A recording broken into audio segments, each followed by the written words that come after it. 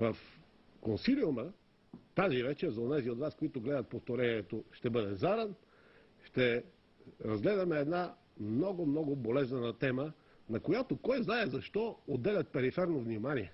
А тя продължава да е важна и да тормози обществото. И този път имаме удоволствието да имаме човек, който ще я представлява, познавайки я отвътре. Той е автор на тези две книги, които виждате в момента на вашите екрани. Нашумя с тях и вероятно за 2007 година ще поставя рекорд по продажби. Казва се Георги Стоев и за разлика от смелите разузнавачи не се поколева да дойде в студиото. Добре дошъл, господин Стоев. Благодаря. Как се чувствате? Нормално. Няма нищо страшно тук, нали? Аз поне не виждам за сега. Защо тези разузнавачи се плашат, така и не разбрах, но няма значение. Прегледах внимателно вашите книги. Аз съм представял откъси от тях на зрителите в течение на предаването Диагноза. Ето ги пред мен. Никъде не, не видях да пише роман, да пише, че това е художествена литература. В този смисъл искам да ви попитам. Истина ли е това, което разказвате? да, това е абсолютно истина, не е художествена литература. Това си е истината. Документални книги. документално, да. Защото като че ли стана мода да се пише по темата за така наречената престъпност, за мутри, както ги наричат. И интересно защо журналистите, разследващи журналисти, които ги пишат, вечно по някакъв начин се измъкват. Пишат роман, документален роман. Или... Ясно. Аз тази е, разследващи журналисти не мога да нарека така, защото те не, смеят да мият вечер по тъмна улица. Така ли? А, другото, което е книгите, които написаха те, а, ги преписаха от а, прокуратурата, взеха някакви разкази от полицаи и твърдят, че са автентични. Аз искам да ги попитаме сега тук пред вас Да. и пред вашите зрители, всичките журналисти. Как са автентични и защо смятате, че това, което се взели от полицаите и от прокуратурата е истина? Тъй като хората, които там дават показания, естествено, че лъжат, те не искат да влезат в затвора. Примерно има разни журналисти, журналисти, журналистчета и журналистки, които казват това е истина а, а, в разни такива популярни шоа, казаха. А, коя информация, като ви питаха, е най-истинска? Те казват тази, която взехме от прокуратурата и от полицията, не от източници от престъпния свят. Да. Ами, на каква база? Значи там дават, да кажем, в една книга, Маджо какво говорил пред следствието. Ами, естествено, че е излъгал за стрелбата срещу Севастопол. Няма да каже, той казва, аз минавах от там случайно и така нататък и случайно раниха. Еми, как може да го приемете това за истина? така че за тия книги само така ще ги коментирам, по никакъв друг начин. И понеже аз усетих, че вие разказвате от първо лице единствено число като участник в събитията, затова им отделих и внимание. Както забелязахте, ще покажа и на зрителите, вижте, значи колко бележки съм си водил, имайте предвид, че тя, част от тях съм махнал, тук е така. А, искам да ви попитам, вие наистина ли бяхте част от онзи свят? То онзи свят а, го наричате вие нарочно Да. така го защото от вас така дойде смисъл журналистите. Иначе то си е този свят. Това е моя, вашия, Да, както да, сега тук, да, това е този да. свят. Да, наистина бях част от този свят, смисъл. От този, който вие наричате онзи. Добре, вие сте човек, който познава лично герой на нашето време от типа на Младен Михалев Маджо, на Герой братята силно Марина Маджо. защото какво значи герой? Аз не го Не, не, защото са постоянно в медиите Да, медиите начин. ги превърнаха герои, така да. Да, познавам ги лично, Да. да, така е. Е, хората, които основаха или просто Но бяхме заедно, когато го основахме. групировки с да, да, Бяхме заедно, когато го правихме. Само, че те после забравиха, защото се хванаха там с разни генерали и така нататък. И забравихме, че бяхме заедно. Как попаднахте в този свят? Ами много интересно, за първ път ще го разкажа сега, горе-долу съм го казал така с по половин дума. А, бях в казармата. Ударих си тежко коляното на тренировка и се тренирахте, като главата ми. Ми, това не, не цапам спорта, винаги го говоря. Това ще, ще кажат, ето този спорт е тръгнал, така няма значение. Добре. Тежък спорт, тежката атлетика. Ударих си силно коляното. Штанги. Не. А, ударих си силно коляното от борцовите спортове. Аха. И коляното ми стана голямо колкото главата, така се надул. А, отидох в а, военна болница при един много популярен, а, случайно тогава не знаех, че е толкова известен и популярен лекар в травматологията, каза се Белчо Запрянов. Тук говоря с имена, защото аз Да, не бягам от тия неща. А, пре- погледна го така, прегледа го, сложи ми гипсова отливка, която стигаше до, а, до края на бедрото ми, така да се каже, и ми изпрати да се върна в казармата. Само, че докато... и не ми даде един ден отпуск. Домашна. В смисъл, ако коляното си ми беше Добре. ударена тренировка. Там знаете, Що за че- човек е този? ми ще ви обясна. Там вървим. Знаете, в казармата няма така туалетни такива нормални, това е клекало. С тази Да. да. този гипса отивка аз с 6 дена и по никакъв начин не мога да... Да а, да, Да, отида това е естествено нужда, не бе, какво да се няма, срамуваме няма какво да срамуваме, да. А, отивам пак при него и той накрая, понеже тогава беше популярна магурата, хората Да. с кожи и тяки на магурата, ланците. Аз от спорта бях обаче не се замешах там. Смисъл, ми беше интересно и приятно. Смятах, че а, моята кариера смятах, че трябва да се развива спорта, след това като треньор и така нататък. Моите колеги, от, които бяха спорта, които вече се бяха появили там, не ми харесаха. Смятах ги за пропаднали хора. Обаче гледам така двама човека от, с едни големи ланци такива от Магурата, които бе го опознах с едно момче пак така, което нищо му нямаше, чакаше така, влезе и излезе с болничен лист. Вътре в болница. Да, и даже колата беше А паркирана. да? А мен не, аз съм много зле. А на него ви- видимо нищо му не. Влиза ми каза, ма не мога да издържам, той парички имаш ли? И оттам вече, понеже нямах, трябваше да се принуда. Това е историята, смисъл за една контузия и за една казарма. Трябваше да се принуда да се включа към моите колеги, така да се каже, за да имам парички да плащам на доктора. И така му плащах за да не седя в казармата. Така, даже той после стана много изоб... След това той беше отпуска, пък ако потърсих, попаднах на още някакъв друг. А, той пък ми предложи, значи а, ще ви кажа какво правиш. Той само ми разписваше отпуските, понеже беше голям шеф. Да. Без изобщо да ме преглежда и без изобщо някой да му търси сметка. А другия, понеже му търсиха сметка, ми предложи да ми цепне кожата на ръката а, с едно браснарско нож, след което да ме зашие. А, и след това ми е шил, шил сух- сухожилието. За парието, това е. Да, Тук, да, това е да, цепната да. кожата и така, сега имам операция сухожилието. Да. за да може да се оправдае пред шефовете си. След което двамата се засекоха, когато Значи този Запрянов и другия, който се казваше Атанасов, се засекоха в кабинета, когато Атанасов ми даваше болнични за това. Този Запрянов каза, щом не е дошъл при мен и е дал- не е дал пари на мен, спираме отпуската. Коя година беше това, извинете? Това е 92. След което а, се, се наложи да дам пари на двамата поравно, значи двойна сума. Да. И, Значи- аз, как, и трябваше вече да премина в групировките, разбираш, които се създаваха тогава. да. Ето така. А с тях се запознахте покрай спорта, надявам се. Вие, Да, да, ми ние се, си познаваха, просто аз ги се дистанцирах от този момент. Вие рисувате в книгите си образите на едни съвсем, съвсем да не кажа, обикновени момчета. Едни млади хора, които, ако махнем това, че са толкова известни, ако не знаем какво са вършили, да кажем, че срещаме такива по улиците буквално всеки ден. Ма то си е така. Аз за точно за това исках да го направя, за това исках и да направя книгите. А, за да видя, че това са обикновени хора. Няма нищо страшно. А, тия митове, които витават около тях, са пълен фалш измислица на журналистите. Това ще да ви питам, умишлено ли беше създаден този ореол на страха около техните образи? Умишлено и то, та- така да се каже, те използваха свои хора в журналистически страни да се създаде този орел, за да може да се превърнат в легенди. Което за мен, трябва да ви кажа, е доста неприятно, но го усещах. Ще стигнем и до там, аз ще ви задам конкретни. Страхове- вие сте споменали и имена И вътре така в нататък. книгите. Да, ще стигнем до имената. конкретни неща. Не, аз наистина ще ви моля да, казва. да, защото на практика ще ви задавам въпроси горе-долу по вашите книги. След като сте ги написали и сте ги продали в такива тиражи, то е смешно вече да не говорим на тях. Голям бос ли бяхте, както се казва в групировките, и не сте ли все още? Ами, смятам, че все още се съобразяват с мен. А, това е Тъй като никой не си е позволил а, нещо да предприеме. Нали? Макар, че то, тези неща се предприемат тайно и с много чакане. Специално моите врагове обичат много да чакат. Този там от колицата, този симпатичен мъж, обича да чака. Младен Михалев, Да, вие така А. го и описвате. да, той обича да чака много. Аз знам, че той ще чака неговия момент. Винаги е чакал, винаги е печелил. Само, че искам да му кажа, че аз ще чакам този път. И ще видим кой ще спечели. Живи и здраве.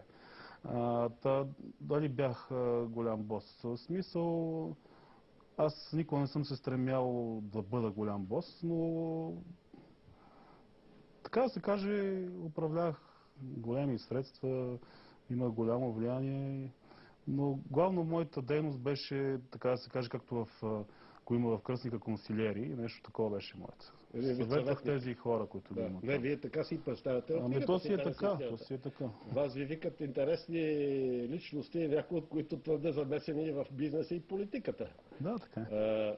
Случайно стана, ама. добре, защо, хайде, на вас явно не ви е много приятно да ви питам за спорта, но защо говорят за борци? Аз познавам от всичките ви герои, като а, личности от спорта, Рахмат Сукра. Единствен познавам, защото съм бил спортен журналист. Да, знам. Познавам го съвсем бегло, аз съм убеден, че той ще помни името ми. А, защо от този спорт тръгнаха изключително тези хора в групировка? Нормално е. Значи, а, това беше спорта, в който а, хората така бяха най-близки, най-обединени. Въпреки, че борбата е индивидуален спорт, Да, за разлика от... на това съм го отдавал аз, може би. Но, а, боя. не, а, нормално е, искам да кажа, да се получи групировка от а, някой не е индивидуален спорт, от някой групов. Да. А, обаче борците бяха много задружни от самото начало, още смисъл в общежития, така. Може да се мразех помежду си, но винаги се защитаваха от другите заедно. Някакво такова, може би защото бяха фаворизирани от а, онзи режим. Да, беше народен спорт. Да. И така се събраха и така презираха другите спортове. Понеже това фаворизиране ги караше да презират другите спортове. И така се чувстват на други и така се обединяваха. В смисъл, знаете, те бяха началници в футбола, да кажем. Борците бяха началници в футбола. И нормално е да презират другите и нормално е да така тази после тяхна организираност вътре се защитават срещу всички и срещу всеки се прехвърли на улицата. А после и в големите ходи. Аз познавам един от треньорите, не знам вие дали, не може да не сте го чували, Огнян Макареев. Ами да, слуга на Маджо. Така ли е, не знаех, Да. че е станал, но един доста интелигентен човек. Доста интелигентен човек, но Да. какъв избор му остава? Човека, след като се разпадна спорта, какво му остава, освен да стане слуга на Маджо? Не знаех, че и той е там. Ами, ами, Тъжно ми е. Беше слуга в Тъжно ми е. Славия в спортния клуб. Да. Кондиционен треньор нещо беше за известно време треньор на националния отбор, говоря 88 година. Може и аз го помня тогава, Да. добре, беше тогава свестен. Но ме впечатли това, че беше доста по-интелигентен от треньорите в футбола, например. Ми, той сега си интелигентен, аз като казвам слуга, не искам да го обида. Обаче смисъл такъв, че приема да работи за човек като Маджо, който някога за него е бил трепка. Сега приема да работи за него. В такъв смисъл, но такъв е живота, така се мени. Да, никой не знае какво ще му се случи. да, какво ще някога примерно може да го прати в десета глуха, а пък сега трябва да търпи рогатните му. Може би за мен най-важният въпрос, не знам за вас как е. На практика, кой създаде тези три буквени групировки? Ами, така да се каже, те се самосъздадоха. А, но все пак а, им удариха едно силно рамо. Държавна сигурност. На практика държавна сигурност им удари силно рамо. Финансира ги. Организира ги. Значи финансира ги. Финансира ги, значи говорим за пари. Пари, които, с които да започнат. Държавна сигурност им даваше пари по какъв начин? Кадри, ами, директно в смисъл пари като кеш. На ръка. Да, директно то държавна сигурност по друг начин е дала се на ръка. Е, да, да, да знам, говори се за изнесени пари в банко, банкови сметки, говори се, че Боян Радев с кунфу връчите ги е носил. Възможно е да ги е носи, аз това не съм го видял, аз съм виждал превози тук, тук как са се прекарвали пари. Да кажем от София до Варна и така нататък. Някой, на който се дава възможност да пренесе или какви си пари, пък оттам дали ги е взимал Боян Раев или някой друг, не съм виждал, но Да, И да. затова се даваше за награда, примерно ти дават една чисто нова кола и така нататък. О, значи не е малко. Да, но говорим не за куфаче, за сакове големи. Добре, ама вие като казвате държавна сигурност, заставате отговорно за това, защото много от нашите зрители, като им говоря аз, например, за тези неща, не вярват. Мятат, че и това е конспиративна теория. Да. Не случайно ви го задават. Да, заставам отговорно, разбира се, за това, защото това са кадри, бившите кадри на държавна сигурност, които тогава си бяха и настоящи. Да, началото. Да, така че съвсем нормално да... То, вижте, то няма и друга лойка да беше. Смисъл, тия хора, които не вярват, аз ще им го обясна. А каква лойка едни момчета, които имат една гимназия или един вив, да могат да се организират сами и да направят това нещо, до което стигнаха? Няма лойка там а, да се направи това нещо без помощта на държавна сигурност и на полицията. Няма по какъв начин опитни кадри от полицията. Аз ви го казвам, защото съм бил там и знам, Да, че да. как сам можеш да го направиш. Ти стигаш до някаква стена, в която не можеш да разбиеш с главата си. Трябва, да трябва държавна сигурност да ти разбие. Като по това, по това време смисъл тя и при това действаше по престъпен начин, просто по този начин вече а, в новите времена трябваше да пусне хора напред, които да действат вместо нея. Все А, пак държавна това е сигурност- много важно. все Да, пак това е държавна сигурност при това а, сме чували, аз не съм виждал, но съм чул, че организираше убийствата, но след това трябваше да наеме хора и да ги обучи, които те да поръчват и да организират. Ще ви кажа защо. Откъде идват тия приеми, да кажем, когато се поръчва убийство, да кажем, когато Маджо поръчва убийство, да пише, да изгаря и след това са приемите на държавна сигурност. Откъде идва този прием, когато, когато се поръчва убийство, а, поръчителя да не иска да знае кой е извършителя. Ами, нормално е и да иска да знае какво се е случило там на мястото на самото Да, престъпление. да, да. Това са пак приемите на държавна сигурност. Ако хванат да разпитват някъде, това са разузнавачи. Да, да, така да. правят. Ако хванат да разпитват, ти наистина не знаеш кой. е. Служител на Да. детектор, ти наистина не знаеш кой е. Да. И на детектор на лъжата да, Да, вържат пак ти не наистина не знаеш, защото не си се интересувал. Добре, молбата ми е на уважаемите колеги, нека пуснат кадър номер едно. Искам да го видите. Ето вижте, Красимир Рейдовски, офицер от първо главно управление на държавна сигурност, той твърди, значи въпросителният знак заглавието въобще не е верен, защото той вътре в текста си твърди директно, че Любен Гоцев е създал групировките. Как ще коментирате това? Митология ли? А, не е митология, обаче той казва директно Лю- Любен Гоцев. Аз а, знам, че Любен Гоцев а, а, беше наемник на Андрей Луканов. В смисъл, той ги създаде по, така да се каже, по нареждане на Андрей Андрей. Луканов. Да. Така че той беше негов работник. В такъв смисъл. Вече после се усъвършенства и продължи да ги развива. Но за създаване, аз не бих го приел като създател, а като наемен работник по това Да. време, на Андрей Лукан. изпълнявал нареждания. Да. И, и понеже имал пък и, Има и такива умения. предложения, все пак. Има и умения, разполага. Добре, може и да се каже, че тези хора, които първоначално е, е задействал, са били агенти. Не, тези хора, които първоначално е задействал, не са били агенти. Това са обикновените борци, които той вербува. По какъв начин? Ами ето, щом ги е вербувал, значи са били агенти. Не, той ги...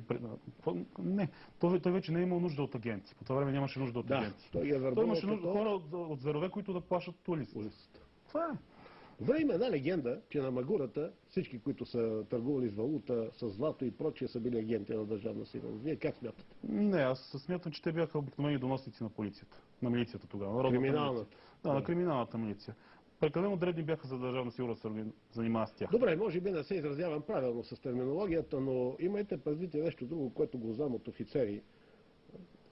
Агентите на криминалната милиция са използвани и за шесто управление, ползвани са, когато е трябвало и за второ. Значи там няма празно. Аз знам един синдикален лидер, който е правил доноси по криминалната милиция, а по негови доноси си са разработвали хора по шесто. да, Господ. Сега ще ви спомена няколко имена. Не, не ги споменавам случайно. Значи имам информация отвътре. Не ползвам Григор Лилов, не ползвам на Бойко Борисов досието и прочее. Тези имена ги знам преди да излезат те.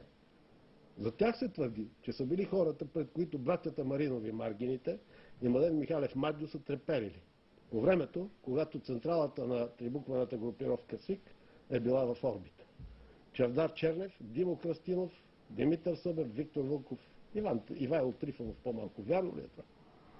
Вярно е, да. Така е. Така е, смисъл Михалев нееднокра- нееднократно е казал, че трябва да се съобразява с тези хора и че той е само тяхното момченце.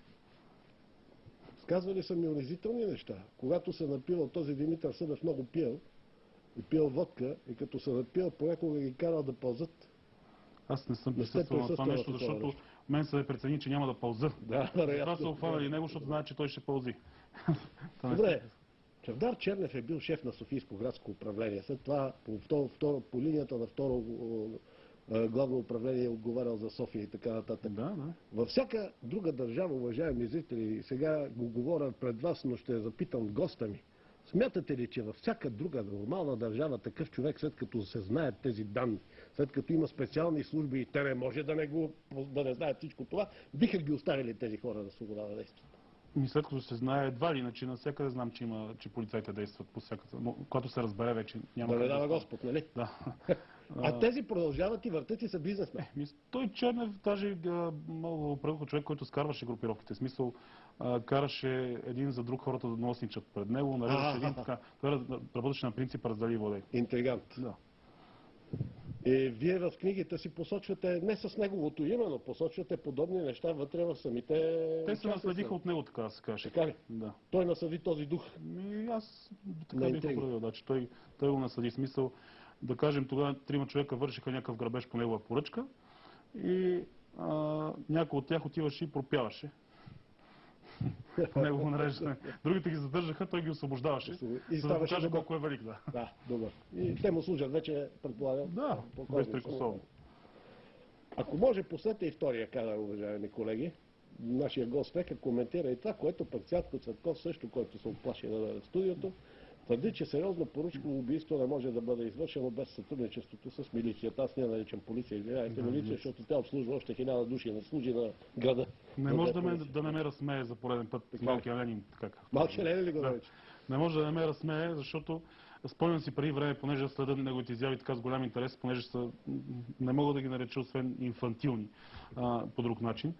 Преди време го чух да казва за Иван Тодоров, доктора, когато го взривиха в Мерцеса на Цариградско шосе, остана жив, че от така средната ръка бизнесмени. След което се появи, след като го виха, вече говореше, че съм пак за цвятко това. Да. И започна да говори, че от най-големите тари. Значи той е човек, който е толкова дезориентиран, че изобщо не знае кой кой е, или поне така ми се струва, че явно може и да му е удобно така да се държи по този начин. Но като гледам как така наивно обяснявам, ми се струва, че е много дезориентиран. Какво значи без помощта на полицията? Той като главен секретар с негово участие свършили ли са сериозни убийства? Защото тогава имаше убийства. Този Значи, ако, си, да? ако, ако го твърди това, значи той знае, че по негово време като главен секретар с негово направление, по негови колеги са се случвали убийства. А не можем ли да кажем, че дори по негово нареждане? Ми, Не го знае. Ако щом твърди така, значи бих, аз, аз го питам, така ли е? В смисъл, той поръчва ли убийства, че твърди за другите? Или може би до неговото време не са се поръчвали убийства, след неговото вече другите, другите началници са започвали да поръчват убийства. Значи това са абсолютни глупости. Значи тези убийства не се правят с полицаи. Полицаите правят някакви съвсем древни неща. Някакви. А, вадят снимки от компютъра, така наречите БДС-и. Вадят ги- Знаеш какво ще рече? ми, базата, тези биографичните данни, които са приема вас, ви снимат, да кажем, ето сега вие сте Задържан по някакъв начин. Не, не сте задържан. Ами? Вашите данни са вкарани в този техния компютър. Аха, Там аха. пише коя е жена ви. Аха. А, пише кои са децата ви, всичко. Пише къде живеете. И Големия да кажем- брат, ни- съди. Точно така. Да кажем сега, че... А, точно така. А, да кажем сега, че аз искам да ви убия вас. Да. Няма как да ви намеря. В момента вие сте напуснал телевизията, иначе ще ви чакам тук Да, на входа. да. И ще пратя хора да ви чакат на входа. Значи тези услужливи хора срещу 5-600 лева вадат вашата снимка и снимката на жена ви, номера на колата на жена ви, номера на вашата кола и така нататък, или номера на вашите деца. И аз оттам, примерно, проследявам, да кажем, стоя пред дома на децата ви, ако вие ще ходите там и така нататък. И така се случва. Срещу 5-600 лева вършат тази услуга. Ето така помагат полицайите. Сте го, ако това иска да каже, че те за 5-600 лева продават информация. Господин Стоев, ама това, което казвате е ужасно. Ми, Защото повечето живота на един човек струва 500 лева като информация и колкото струва след това аз съм го виждал лично там как се вадят тези данни. И на който примерно пише баща еди кой си, брат еди кой си, еди кой си живее тук, еди кой си живее там. И тези данни могат да преминат в ръцете на който и да е било. Смисъл, ако човек е корумпиран вътре, който ги вади от компютъра. Този компютър може да се влезе, да влезе всеки древен служител. Боже Господи. Добре. Знаем, аз поне знам, толкова знам, за три трибуквени групировки. СИК, ВИС и ТИМ. О, тим аз няма проблем. Веднага а, я махам като групировка. Смисъл, а, тя е трибуква, но като групировка сила я дистанцирам моментално. Не е работила като силова групировка. Като силова групировка не. В смисъл, Ама тя си заработи познавам като- хора, които са били пар- били пардашени от тях. Ами били предаши от тях, може би от техно обкръжение представящо се за тях. Не защитавам тим в никакъв случай. Да. Знам тим с какви пари започна, с кон, военно контраразузнаване. нататък. точно така. Значи те са альтернатива на Любен Гоцев. Да. Който е от разуз... Те не да. се и обичат. Да, не Май. нормално е. Едните са военно контразнание, другото са държавна сигурност. Да. Съвсем нормално е да не се обичат. Става въпрос, че а, те са хора, които самите не са искали да се вкарат в това. Не е имало и нужда. Да. Значи те започнаха с така, заместиха починалия Данчо Марков във Варна, който го завикаха с Йоро, той беше човек на СИК, Аха. като се привеше в. Те го заместиха, обаче по много, така да се каже, хитър начин. Вместо охранителни фирми и рекетьорски истории направиха СОТ във Варна. А Варна не е труден град за охраняване с СОТ. Това са, разстоянията не са големи. Да. И така да се каже, успяха по един легален начин да, се, да направят, да сменят охранителните фирми. И не знам да са ракетирали и натискали някого. Ако а, са имали по някое време нужда от така по-силови структури, са възможно да са ги създали така отстрани около тях.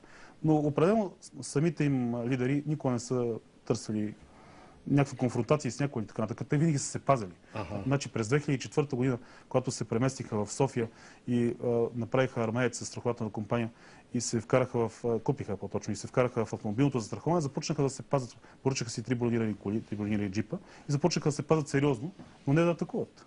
Защото знаеха, че се намесят срещу СИК в автомобилното застраховане. Аз ще ви кажа за случай май, че същата година, може да ги греша, може да е и 2005-та. Разказвал ми го е лично потърпевшия, собственик на телевизия, който освен това има и кабелно разпространение на телевизионен сигнал и се опитал да навлезе във Варна и е пардашен от тях. Ами, възможно е са. Аз ви казвам сега, когато, пак, това, което аз знам. Да, добре, оставете ги. Приемаме, че те не са точно силова групировка, съгласен съм. Някой казва, че на всичкото отгоре, а, дори работели. Работели добре. Да, работят Казват, сериозно. Да, работели сериозно. казвам. Защо две групировки тогава силови СИК и ВИСИ? Какво означава СИК и какво ВИС? Повечето хора не знаят. Разтълкувайте го. Какво означава? Ви смисъл в прекия смисъл. Да, да, да. Разтълкувайте. Васил Илиев и си е така започна. така ли сега? Да. А другото е Security Insurance Com- Company. Company. Така беше направено, като... И добре, защо ги разделиха? Това са хора, които са от... Те вече се бяха разделили. Не, ги, не, ги, не ги разделиха. Смисъл, що ги разделиха? Защото Васил Илиев а, а, работеше по-скоро с а, полицията. Докато Маджо работеше с държавна сигурност. И там се получи едно конфронтиране между полицията, която вече а, беше доста силна. В смисъл започна да укрепва. И Да. държавна сигурност, която трябваше да отпадне. Да. И така, смисъл, така се разделиха. Наобщо казано. Кой определи според вас? кои да са шефовете, защото все пак имаше най-малкото формални шефове, да не се лъжа. Вие ги описвате в книгите си. Има един Младен Михалев. Така, ми, Има смисъл, братя Маринови. Има Бай Миле, известния Бог да го прости. А, Венци Стефанов все още е жив. Не го знам колко е шеф, но Венци поне се Стефанов води. не е никакъв шеф. В смисъл, той е от тези, които се присламчваха към борците, защото така беше удобно. Удобно. Да. Доколкото знам, Том- Тома Славчев един път в екран му го каза, че е вика, бе, той тебе, тебе промените те завариха продавач на бензин на бензиностанция. Да. Това е голът ист. Той Ама те всичките бяха агенти да на държавна сила. Да. Нормално е. А, кой определи решаваше босовете? тези неща. А, а, търсеха удобни хора. В смисъл такъв, а, значи, да кажем, аз имах качествата да бъда, да кажем, на местото на Михалев. Да. Без така да се прави, без да се взима сериозно. Обаче аз не мога да се подмазвам, не мога да... Значи, те се самоопределиха. Хората, които умееха, а, ще ви кажа колко много така ще го обясня и на зрителите. А, значи, те търсеха хора, така наречените мишоци. Мишоците са тези, които, като им кажеш, примерно, ето ти тези 5 милиона, обаче утре ги върни. А, защото на мен, ако ми ги дадат, аз нямаше никога да ги върна. Ще да избягам някъде с тях и готово. Докато, примерно, Михалев още ги връща веднага, да кажем. А, както и а, Василиев, за какво беше неудобен? Той също не искаше да връща пари. И така. Търсеха хора удобни, които, да кажем, Пепи Амигос, защото вие тук, го- той също е... Ваш герой, Да, как трябва да Пепи ти Амигос, да който беше съдружник на доктора и собствената финансова къща Амигос. Да. И него как го определиха? Половец от Силистра. А, завършил ВИВ, изключително прост и тъп. Изведнъж в, един момент го пред, той става милионер за няколко дена. Започва да оперира с парите на Орион и така нататък. Значи парите на всичките държавни и тогава мъже са при него в неговата финансова къща. Как го определя? Защото като му кажат Петър чела тук и върни всичко, той ще дойде ще го върне. Никой няма да се забегне по някой остров, както ще направя аз да кажем. Да. Ето така се определиха. Търсеха удобни хора. А, Послушни. Плюс това ще ви кажа и нещо друго. В смисъл, аз в моите книги, понеже имам и други книги, които няма. СИК, ВИС, а, ВИС 2 и така нататък, описвам как точно става. Първата ми книга се казва ВИС, между другото. В нея как стават нещата? Ами, а, имаше една така, когато пътувахме по чужбина, с нас пътуваха едни хора, които наричахме куфарите. Това бяха хората от държавна сигурност, които пазеха да не избягаме някъде. Говорите като състезатели. Да. Да. И оттам вече те вербуваха, да кажем, а, хора като а, Маджо, а, защото те тогава им се слугуваха, пренасиха им багажа, а, тези хора търгуваха с, да кажем, като пътувахме и а, те носеха 20 екипа, които ще продадат, да кажем, в бившия Съветски съюз. Тогава Говорите бяха... за състезателите или за, за, държавна сигурност, за, офицери? За, за офицера, който идва да, Да, те пази. да. А, и нормално е той да го разпръсне през целия багаж. В смисъл на мен, на Маджо, на Еди, кой си и така нататък. За да не го пренесе сам той. и този, който му помагаше, примерно тогава, да кажем, да го пренесе, после става бос. Тия неща не се забравят при тях. Те са благодарни. Но вие казахте и още нещо, което хората сега сигурно ще разберат и ще им го разтълкуват. Те твърдят, че са работили за България. А вие изведнъж разкрихте как са работили. Те са били най-обикновени куфарни търговци, уважаеми зрители. Да, затова викаме куфарите. Така сте ги наречели. истина. Да, но куфарите, защото бяха куфарни търговци, сега тук да определя. Куфарите, защото ние носехме спортни сакове, а те идваха с куфарчета, с околни куфари. Да. Ага, да. Но иначе наистина бяха куфарни търговци. Разпиляха в някоя стая на хотела всичко, което носеха и го продаваха. Точно куфарни търговци си бяха. Няма да се хваля. Затова му уволниха 88 година от Вестник футбол, защото го написах в един, едно издание на То си руски език. аз съм го виждал. То се върна тук и там твърдеше за това, че с а, от националния отбор по футбол пътуват туристи от ЦК на БКП от държавна сигурност. Не, Това е голата истина. Факт. Тоест, и... мита, че Маджо е най-интелигентният от всичките, Не, ми, това е така. така ли? е? Наистина Да. най-интелигентен. Все пак, ето тук се връщаме на това, че... Значи освен, че е нямате послушен- такава крайна... Нямам Обективен крайна- сте, Значи обективен. абсолютно обективен съм, Да. че той е изключително интелигентен. Да. Ако говорим, примерно, ако ги съпоставим с маргините, Да. а, за съжаление, аз казвам за съжаление, защото аз смятам, че маргините трябваше да управляват вместо него, тъй като те са, да кажем, говоря за, за големия маргин директно, тъй като той е селски простоват мъж, а, който е по-принципен и по-справедлив. А, Все пак има някакъв морал път има някакъв селски морал в него. Да. А, и смятам, че той трябваше да управлява, за да бъде мирно и тихо. А, в него няма параноя. Аз изобщо не... ви- Виждате, че съм го написал из него всичките общи, които извърши и така нататък. Изобщо не го защитавам, защото по време излезе, че а, маргините са ме вербували да униза Маджо и нещо такова. Някакви такива теории. Няма такова нещо. Значи говорим за това, че а, понеже съвсем откровено казвам с риск да му прекне кой или не, че според мен тази улицата и самите групировки трябваше да ги управлява големия, големия Марин, за да бъде нещо така по-спокойно. Понеже той не е параник, Маджо е параник и той убива от параноя, поръчва убийство от параноя. Но за съжаление, Маджо е три пъти по-интелигентен от него. И той успя да ги изиграе, това е. бившите си партньори. ама това, което казвате е много страшно, защото да убивате от параноя. Много е страшно. Да, е. това е- И точно за това нещата стигнали тук, защото един параноик управлява България. Управлява престъпността, управлява политиците, управлява вътрешния министр, управлява съдебна- съдебната система, както видяхме. Не могат да го питат къде живее, той не иска да отговори. На вас не ви изглежда толкова смешно и всичките зрители да ги питам и аз и тях. Като, защо не се ядосват, защо не оградат съда, защо не направят нещо като... Да, когато дойде някой друг. А, ме, това е направо уникално, което се случи. Пристига в съда а, с огромно закъснение, а, влизат бронираните коли вътре в сградата на съда, затварят му вратите, отцепват му района, спират трамваите и, и на всичкото отгоре не казва къде живее, казва, че живее в Европа. Е, сега, ако вие и аз отидем там и кажем, каже, и тази съдийка искам да я попитам и нея, а, тя защо не удари по масата и да закрие заседанието и така, няма, няма, няма никакво достоинство. Ако ще да уволнат след това и да го повика да го примат, по- да го доведат принудителен начин. Но господин Стоев, тя затова е там. Защото няма достоинство, повярвайте ми. Вие затова сте тук, защото го имате. Е, Иначе щяхте да сте с тях. Това е голата истина. Преди две години Това вече прехвърли граници. Това с в съда. Да, да. Преди две години в едно друго предаване мое в друга телевизия, моят приятел Янко Янков още тогава каза, мисля, че е негово, не знам дали е бил, че МВР означава Маджо Вика Румен. Той първи го каза, поне аз публично го чух от, това, от него. Да, да, Маджо после го промени. Смени абревиатурата в едно интервю. Направи го на МВБ. Според мен искаше да каже, че вика Бойко. Бойко. Да. До Бойко ще стигне в живот и здраве. но По други герои, които са вътре във вашата книга, аз не вада нищо, което да, Да. е извън нея. Извън двата тома, които са пред мен. Да. Но има сега, сега няколко герои, които аз вада извън, не присъстват във вашата книга и ми е любопитно вие да кажете, ако искате, не, за, не ви задължавам, как ще коментирате присъствието на братя Попови, синовете на Димитър Попов. Ми, никак смисъл, като глуповати хора, които се вързаха на валицата на Маджо и да му задлъжняха. Така. Така ли? Да. А бащата, нали знаете откъде е почнал? Ми, знам. От Георги Димитров още. Знам. Да. Да. От Чудо национализирането му се и на да го питам, ако случайно ни гледа, дали не се умори. Той е на 80 и колко? Пет. Да, защо продължава?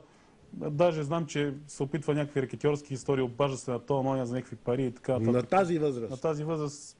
Чуда се как не се умори от тия неща. Баща и син Лялеви. Ми, Траян и Георги. да. Единият професор, при който мисля, че Маджо е получил диплома. Да, не го познавам, не го познавам Георги. Да, той е адвоката на СИК. Да, да. Ми как, не би го определил като абсолютен измекяр, такъв подлога. И затова си присъства на 100 места. Ами присъства заради баща си. Да, така Смисъл, ли? така, смисъл заради баща си, като услуга и така нататък. Нищо особено, смисъл. Обикновен- Обикновен измекяр, аз така го наричам. А покойният Никола Дамянов, който скоро си отиде, значи като ми каже някой за покойниците или добро или нищо, нека ми цитира думите на нашия Господ Исус Христос. Няма такова нещо. Аз не казвам, че прокарах тенденция. Просто аз коментирах, че според мен той получи инфаркт, когато трябваше. Да, и според мен а, точно на време. На време, нали? И аз така мисля. И четох след това, не знам дали е истина, че Любен Гоцев също е коментирал с малко страх, че е останал само той. Аз веднага ще определя как, ако сравните интервюто на Маджо след съда в същия Да. вестник и след това на Любен Гоцев, ще видите колко си приличат, как един е наследил другия. Значи говорят абсолютно едни и същи неща. Ако хванете моите първи книги, които са от преди една година, ВИС Да. и ВИС 2, а, ще видите дали аз наистина познавам Любен Гоцев и Маджо, защото там съм ги пресъздал точно както говорят в интервюто. Значи, те аз при- съжалявам, че не ги Да, не, е, аз, иначе може да го цитираме да видите точно за какво става въпрос. Да, Любен Гоцев... цитирайте го. ами аз съм го определил точно по как, как, как, как обяснява, че е пенсионер, че си помага на пенсията. Да. В този типичен си стил.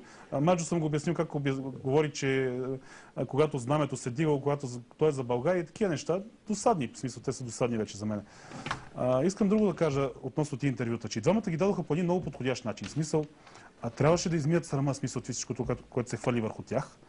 И след това да се махнат. Аз съм сигурен, че Маджо след това интервю, което даде повече, няма да се появи никой. И съм сигурен, че Любен Гоцев, че няма по- никога да се появи повече. Но трябваше да дадат едно последно интервю. Ако отчетохте това на Любен Гоцев, то беше много преднамерено. Самата журналистка го пита от самото начало. Виждате се без охрана, без кола.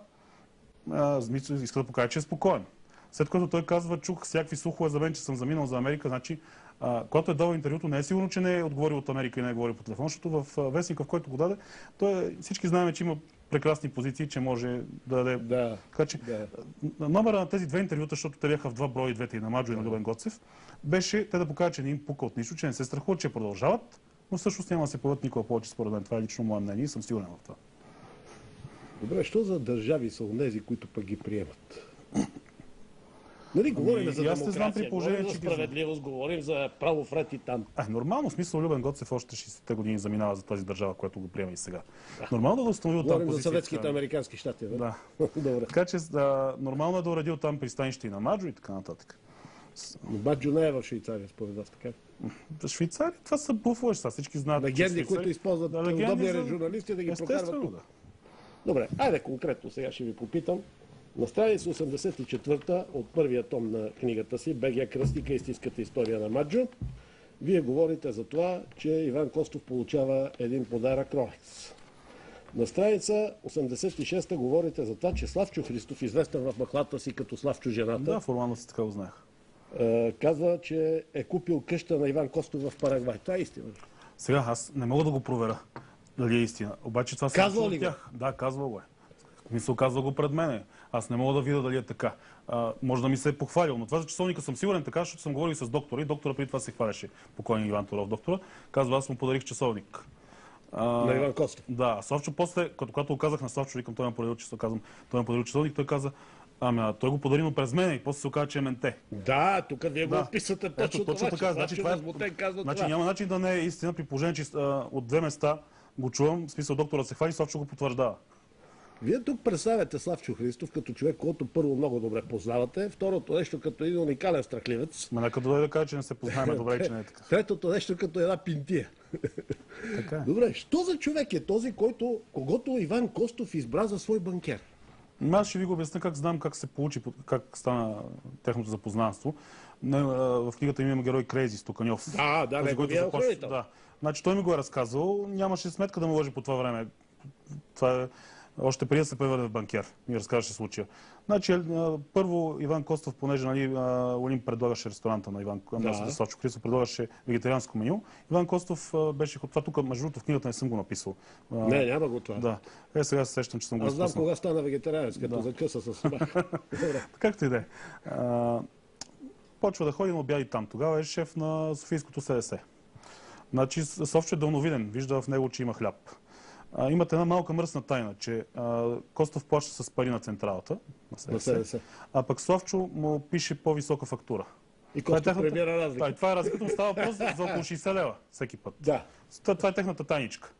А, този същия Стоконов ми разказва, че Славчо е казал по което и време да пристигне Костов, да му се обадат където и да се намери да го извикат. След като сяда на маса, като надалечно от тази на Костов, за да не пречи и наблюдава и разпределя сервитьорите, за да не стане някаква неуредица и нещо такова. След което а, се измъква до вратата, а, взима сакото на или балтона на Иван Костов, подава му го и тогава вече Иван Костов се обръща и му казва, о, Славе, здрасти.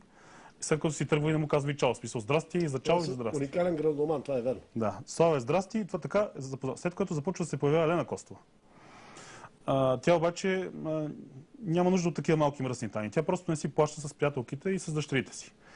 След което вече стига до една услуга, която Совчо извършва. Совчо, Совчо по това време си купува от Венци Стефанов в една S-класа, сребърна S-класа. По Това е Мерцедес. Да, Мерцедес, Мерцедес S-класа, сребърна, а, дизелче естествено, защото той не Вие го обича. описвате тук в книгата. Вече да, Споменавате го. Пего. Да. И а, се разбират а, да закара до Ексиноград дъщерите на Иван Костов а, така с дизела. Да.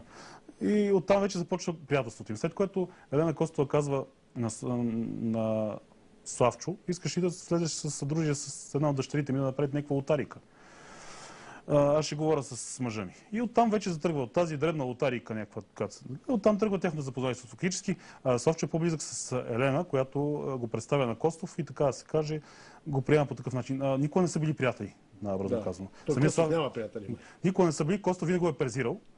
И, и така. Но Славчо беше на сватбата на въпросата дъщеря, ако не се лъжа. Не, ми, няма начин, все пак Елена го е поканила. Те са близки. Стефан Софиански по най на едно място казвате, че трябва да дават на Стефан Софиански и слугите му. Така се изразявате. Да, да. И той Ами- ли е част от тази? Ми, какво да ви кажа? Смисъл, а... сега знаете на Грубен каква голяма борса има. За коли. Така? Тази цялата голяма борса. При година с един покойник, момчил Бенев, самозриви се на Беловодски път. Отидохме при Софианския в общината и заведе един негов приятел, с който играеха заедно футбол.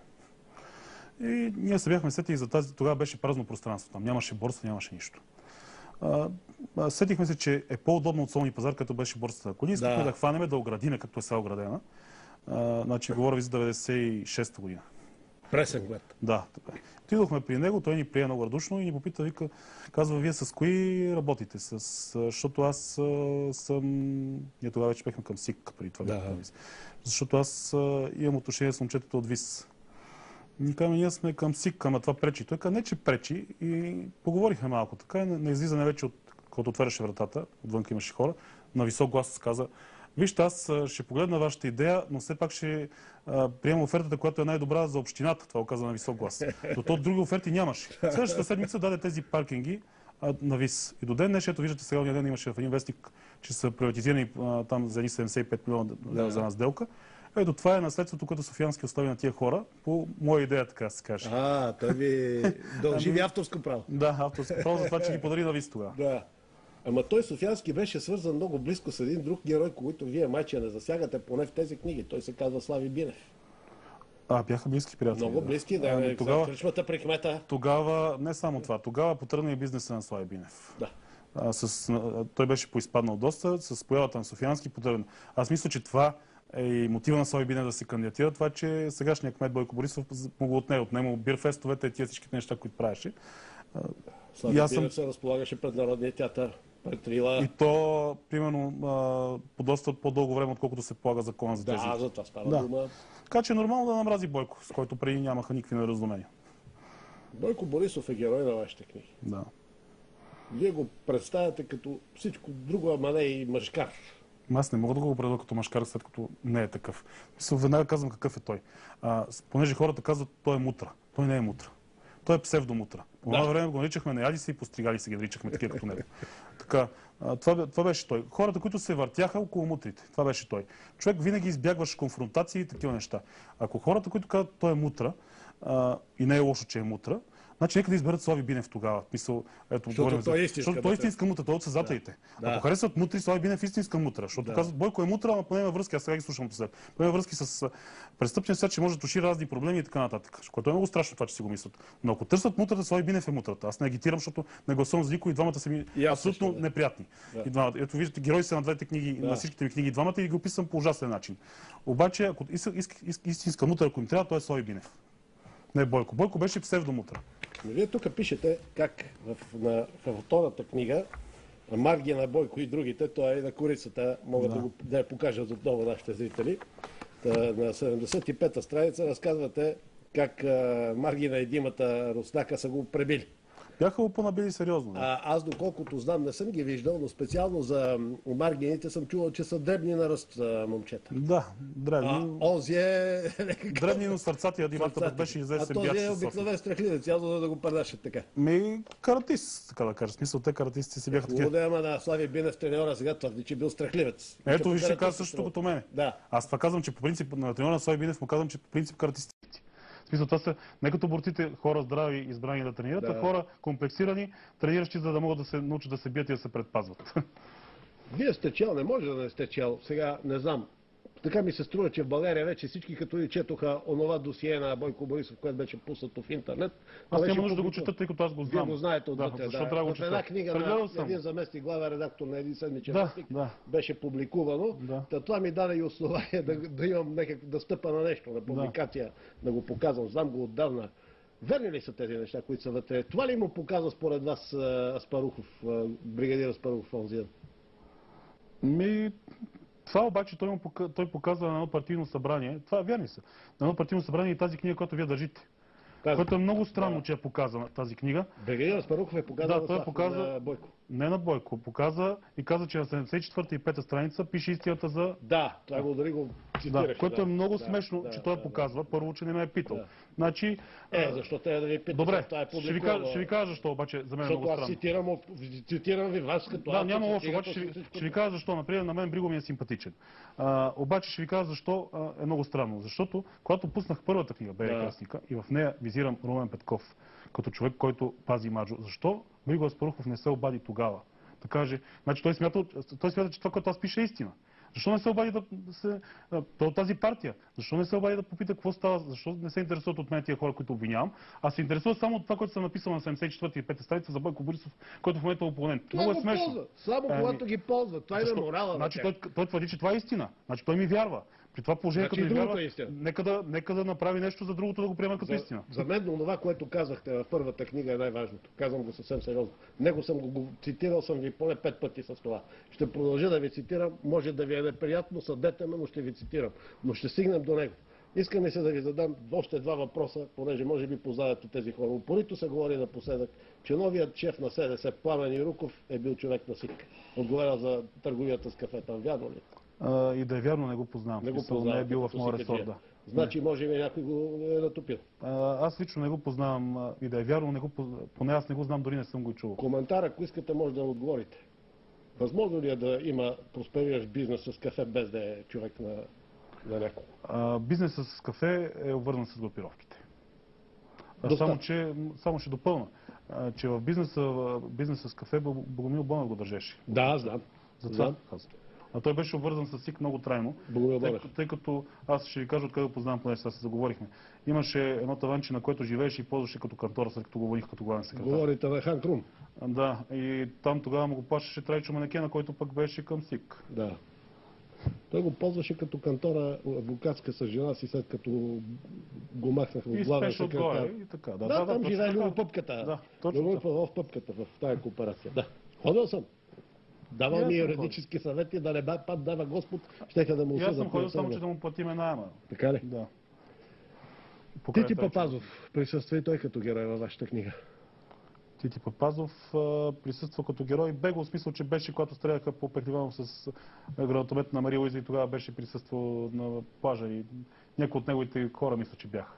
Но и той е, той е замесен в цялата тази история. Замесен силно казвам. Значи Тити е обикновен клон. А, как може да бъде замесен? Той е хората, които веселеше така речените босове. Добре, ама Какво значи да замесен? натрупа толкова? Казва, че има много голяма собственост. Аз не знам да има. Може би го използват, понеже все пак нещо да върти, да държи и така нататък. Аз Тити го бих оправдавам като обикновен клон. Макар, че сега вече от клон се превръща в човек, който гони нечи интереси, да кажем. Доколкото виждам, гони интересите на Тошко Добрев. Да. И тази колониада Да, може би да, ще свърши. да. А А Тошко Добрев пък беше приятел на Маджо и така нататък. И на Маджо ли беше? Ами да, даже аз лично съм присъствал, когато Маджо му поръчваше, че иска да купи нещо. А, и Тошко Добрев се чудеше по какъв начин да измисли да го купат. Да припомня на нашите зрители. Тошко Добрев е любимец на Степ, покойния Стефан Савов, който го урежда от Демократическата партия в Столични общински съвет. Оттам го издигат до изпълнителен директор на прословутото предприятие Софийски имоти. Сега връзката с СИК. Софийски имоти беше основен спонсор, мисля, че все още е на футболен клуб Славия, така ли? Да. Ето ви е връзката. Тя е много елементарна. Тошко Добрев, по времето, когато Софиянски беше кмет, Евгений Бакарджиев, а след това Антуан Николов, шефове на Общинския съвет, постоянно получаваше увеличение на капитала на фирмата Софийски имоти и този капитал постоянно бъде, биваше намаляван с продажби на безценица на столично имущество. Същия Тошко Добрев си направи кооперация с брата на Петър, Младенов, на Петър Стоянов, извинете, Емил Стоянов, и с Димо Гюров, който е кандидат за кмет на Варна, бивш шеф на разузнаването. И сега се оказва, че ето вижте и с Маджо. Разбирате ли, уважаеми зрители, че тук няма цветове в политиката. Тя партията е една, държавна сигурност е една. Тя си ги е подготвила, тя си ги вади когато трябва. Само за Тити да допълня, че той на общия фон е симпатичен, че понеже все пак милее за спорта и парите, които измъкваше, и като е зададал нещо за себе си от така речите босове, все пак ги вкарваше и спорта. Така че в това отношение поне е положителен герой. Добре, извинете, аз съм човек, който се занимава с спорт. Женен съм за жена, чийто баща беше на времето, може би най-добрият баскетболен треньор, треньор на националния отбор, човек с езици, с висше образование, американски колеж и така нататък. Това е човек, който няма хабер от баскетбол, да ме прощавате. Вярно е, съгласен съм, обаче пък все пак виждате как умее да нахъсва. Знаете, и поне аз цял живот ще се занимавам с спорт, тук ще, ще ви опонирам. Не е задължително да, си, да имаш хабер, за да станеш добър треньор. Обикновено на успелите състезатели успяват да станат добри треньори. Аз не казвам, че трябва да сте добър състезател. Аз говоря, че той като треньор, според мен, няма хабер успехи. Не мога да кажа, вие ако имате парите на Луи Койл зад гърба си, сигурно ще постигнете повече. да започнем от преди. Славия, от да. Не знам. А, мое мнение, може да не съм прав. Твърда, че... Поне има хъс, смисъл, виж. Не, чакайте, той и Пенев имаха, с Пенев имаше един уникален, за това сте прав, уникален шанс Да. и чудото, че Шанс, можеше да ги... е шанс, да, разбира се. И чудото, че имаше а, качеството да, да ги сплоти, да не се карат. Това, да което, понеже за ти ти заговорихме, това, което не харесваме, е този популизъм, който използва с това детенце, което осинови и след това се оказа, че се кандидатира за кмет. Това е много ефтин популизъм. Първо за Първанов, след това дядо пострадал, пък сега десен, пък утре ще дойдат марсианци, ще сложи антенки, може би Маджо е същия. И нещо подобно. подобно. Преди да стигнем до най-важния въпрос за мен, който за мен е... Там, там стреляхте вие според мен в десетката и, и ми се струва, че не знам дали мачо. Но тия, за които говорихте там, трудно ще ви простят. Не ви го желая, разбира се. Е, Много хора и за мен говорят така, да дали някой ме питат защо си жив. Но преди да стигнем до там, вие споменавате в книгата си две журналистки. Ето сега говорите за това, че тези групировки са си имали е, в вестниците свои хора. Вие говорите за Велелина Гочева, главна редакторка на 24 часа. Споменавате Маргарита Михнева. Това свързани с тях хора ли са? Така, аз не мога да кажа, че са свързани, защото не съм го видял и никой от тях не ми е разказал, че се познават. Да кажем, Маджо не ми е разказал, че се познават. Да кажем, не ми се и похвалил дори. Но в компютъра на полицайите го видях, че са разговаряли, че имат разговори, както е сега вашето предаване Да. Така беше разговарял с Маргарита Вихнева. Това, го видях. А, имаш, така беше разговарял с Венея Гочева. Имаха разпечатки, това го видях. Това е Разговаряли са по телефона или в предаване? по телефона. По телефона. По телефона след Да, защото ние с вас не крием, че сме си говорили сега по Да. телефона покрай това предаване. Да. Нито за миг, нито се срамувам, нито се крия. Напротив, за мен е огромно удоволствие, че сте тук в студиото. Аз не виждам и нещо лошо, че, те са си говорили, между другото. А, въпросът е, че ви оказвам... Зависи какво. Зависи какво. За това става дума, защото вижте, в техните вестници се създадоха легендите. Значи, ако с В- Маргарита Михнева са си говорили, да кажем, някакви обикновени клюки, са познали, с Венея Гочева, ми се струва, че са си говорили някакви доста по-сериозни неща. И на мен така ми се струва, защото знам къде ходи, в кои заведения, с кои се среща. Тя е приятелка с настоящи министърки, министри. Приятелка е, дори знам, че с този, който управлява ушки му интергрупи, дето споменахте, че не е мутра, Венци Стефанов, който, извинете, аз като купувах за това предаване вестниците, чакайки ги пред а, искам- знам, че плащаше по 60-70 лева за 2-3 вестника. Но пък искам да кажа, че Венея Гочева пусна мои силни интервюта, насочени срещу Маджо в нейния вестник. А, но не знам дали това не е тяхна игра, смисъл, понеже аз знам, че Маджо много пъти а, свои хора, журналисти, им казва, пусни някакво, за да не те злепоставя, пусни нещо лошо срещу мен. Можеше ли, в края на краищата тези групировки се водеха охранителни?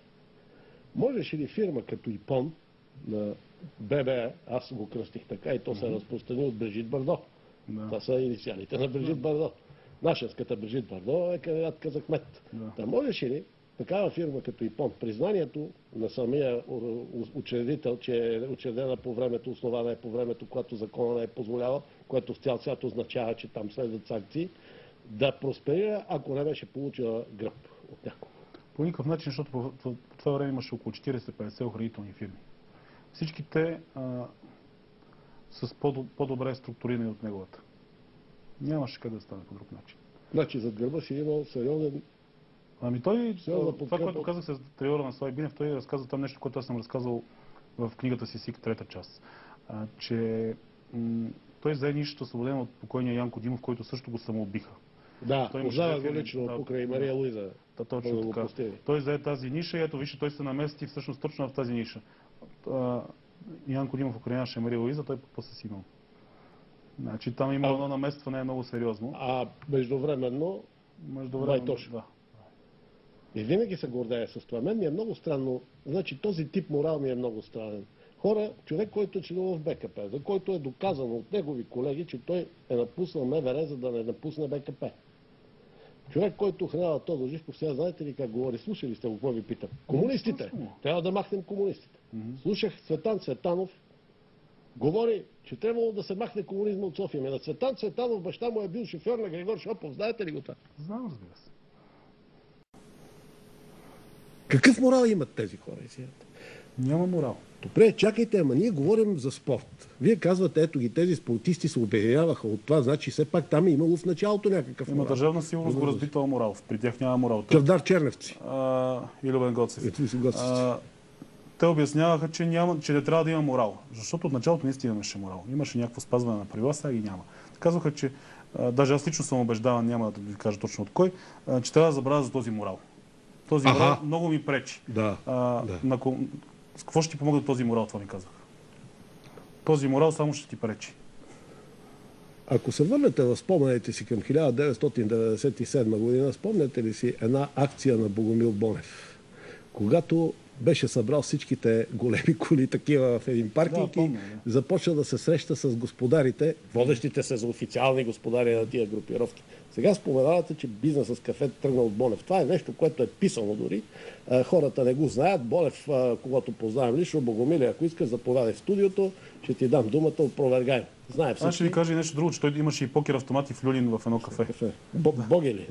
Да. Бе близък с черни, всичките тия неща са ясни.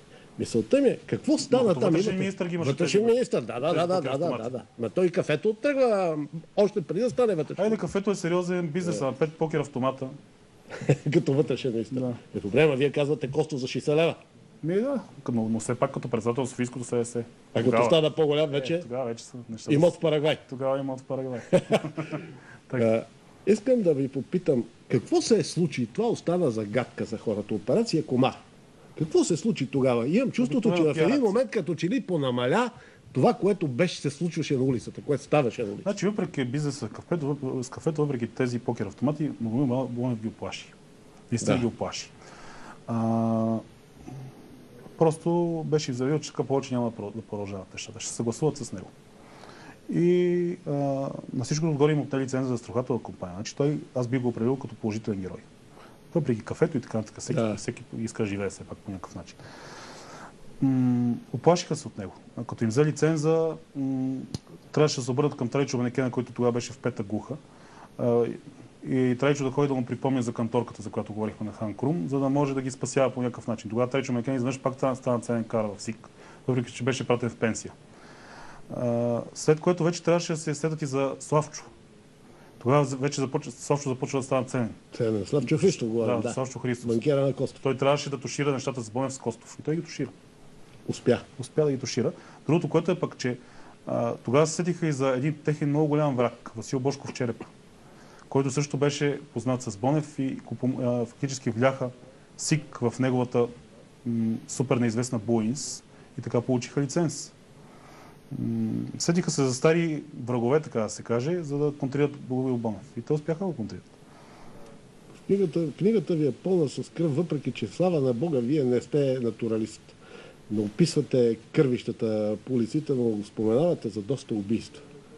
Имаше един човек, когато убиха на улица 11 август в столицата. Толев се казваше, ако не се лъжа. То- Толев, да. Да. Помня го. Значи аз съм Що за личност беше? Имам чувство, че там в него се сплитаха много интереси В книгата не съм го написал, но аз съм получавал поръчка за убийство за него. за него. Да. Що за човек? Ами, не го познавах добре, да ви кажа. Смисъл, а, ш, даже много бегло от заведенията. И покрай колите, които караше, че правяха впечатление по това време. А, знам, че трябваше, прекора му беше, вестници си караха друг прекор, някаква лисици и така нататък. Прекора между нас беше Тотко математика от Пловдив.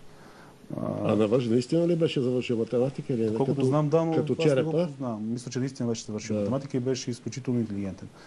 А, пречеше на бизнеса с контрабандата на Иван Тодоров и затова, бех, затова беше тази поръчка спусната върху него.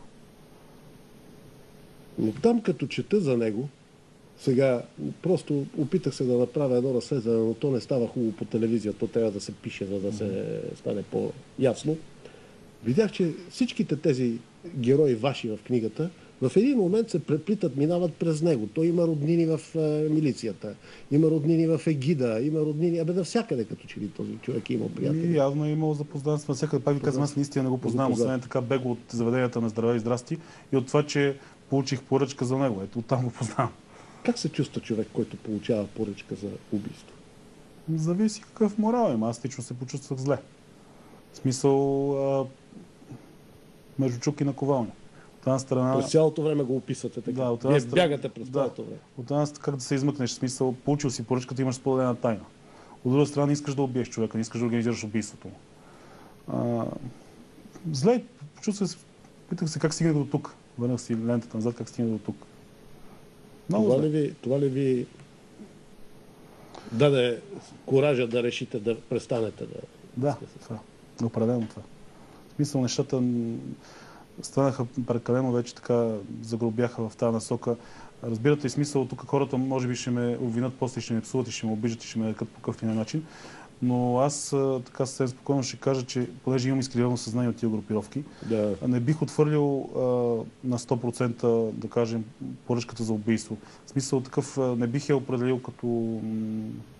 Не, бих я приел като средство за отстраняване на конкурент. Може би имам изкривено съзнание. Но не бих я приел като параноя. Питай, аз, за да уточня, не бих приел аз да поръчвам убийства. Да. Но приемам, че в нашите среди се стигнало там, че трябваше да се поръчват. Но не, биха, но не я приеха като параноя. В смисъл това, повечето неща не станаха за пари от параноя. От страх. Не бяха за пари. Значи покойният Баймиле един ден каза, бяхме в а, една с- а, съблекалня на хотел Славия, аз си описвам където се Да. срещаме там. Той каза, добре, бе, за какво е, за какво е всичка тази работа, като не става въпроси за пари? Ако ставаше за пари, до някъде а, да го приемем, защото знаете, че хората за пари се избият по цял свят. Това е нормално. Аз не го приемам, но да го приемем по някакъв начин. Но то не стана за пари, то стана параноя.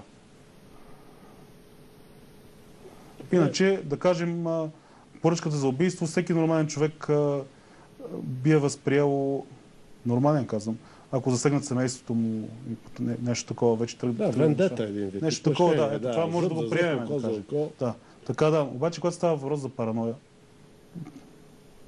много опасно, много лошо. И, и тази параноя обаче продължава да я има. И затова е още по-лошо. Да, да, ама сега аз го наричам, извинявам се, зрителите са свикнали на вас, се извинявам, пикаещия в фонтани. Така наричам министър на вътрешните работи. Той с това е най-известен според мен. Той сега се хвали с той, че нямало поръчкови убийства вече. Нямало Вярно, такива, спряй. които бяха. Спря и отплаши маргините, отплаши всички. С арестуването на маргините ли според вас? Да, това се случи? определено с това.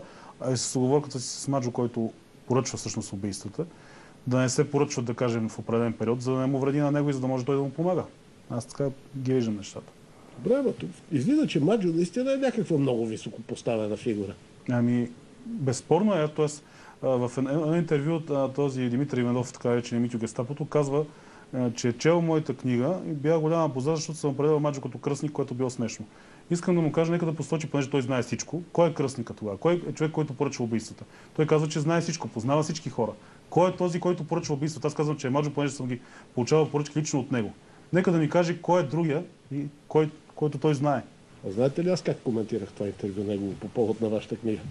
Той твърди, че държавна сигурност нямала нищо общо с тези неща. И тогава му зададат въпроса. То откъде знае тогава, че фактите, които изнасяте вие не са верни? Да, точно така, защото той каза, че не са верни и фактологията Да. ми не била вярна. Ами коя е истинската фактология? Откъде знае фактология? Нека да я разкаже. Не само да загатва и да казва, че това било боза или какво. Мен не ме дразни, че казва, че книгата ми е боза и така. Дразни ме, че О, говори с тия неща. Аз ще ви кажа нещо, което ме очудва в книгата ви. Не казвам за Бозада, не ви коментирам качествата и като книга, като фактология, нещо, което мен ме смущава. Не знам дали сте напълно искрен там.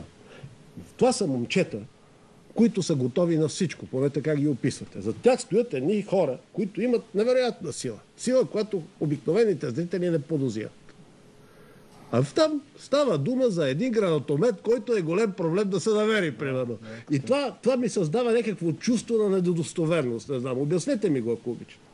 Достоверно, е, защото ти не можеш да отидеш, да кажем, при Любен Гоцев и да му кажеш, искам да кажем от теди къде си. От, знаете, то се получава, сега ще го обясня на зрителите колко е. Да кажем, някой от тези хора трябва пред своя идеолог да се представя, че постоянно работи и постоянно се развива.